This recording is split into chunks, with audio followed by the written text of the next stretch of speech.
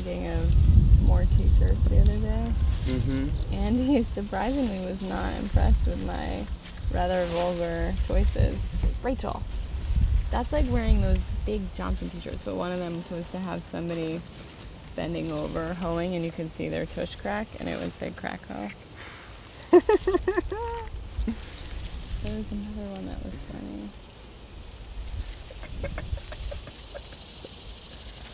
I would Oh, love to see oh. you wear that t-shirt. Will hoe for food. That's what it was. Nice.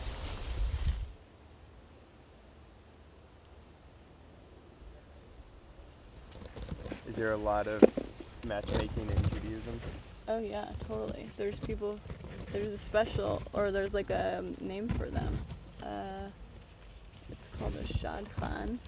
If it's a guy, and a shadchanit is the one that woman. Oh yeah, I saw in the special I saw in Hasidism. They talked about this. Yeah. Yeah. Because I like a guess it's harder for them. It's a serious job. Oh, look at how beautiful the cover crop is when it waves in the wind. I love it. You're much more organized than me. That doesn't make me a better farmer. But you said you had one thing. I was thinking one thing that makes me uh, that puts me in the realm of possibility of being a good farmer. I think organization's important. It can be.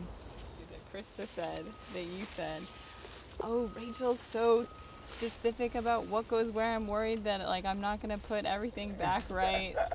you didn't tell me that that was the precursor to her saying, "Yeah, it looks like she has like a really specific way of doing everything." Colin. Well, I don't. Rem- I remember saying that now that I'm reminded, but I didn't remember it Uh-huh. when I told that story. That's funny that you fact checked like that. No, I didn't. Yeah. you I didn't did. say one thing. She said You last did. week. Yeah, Colin you totally went said- on a fact checking mission. No shush.